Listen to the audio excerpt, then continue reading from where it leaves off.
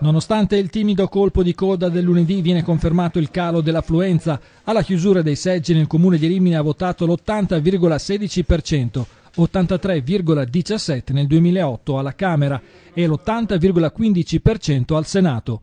Una flessione di quasi il 3% rispetto a cinque anni fa. Sono stati chiamati a votare alle elezioni politiche 108.862 riminesi, 51.906 uomini, 56.956 donne per la Camera dei Deputati.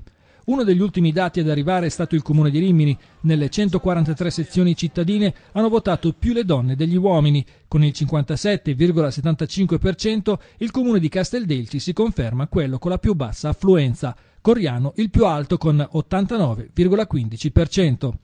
Continua lo spoglio delle schede. A Nova Feltri si è recato alle urne l'81,70%, a Sant'Arcangelo ha votato l'83,48%, a Riccione ha votato l'81,63%, a San Giovanni Marignano l'85,51%.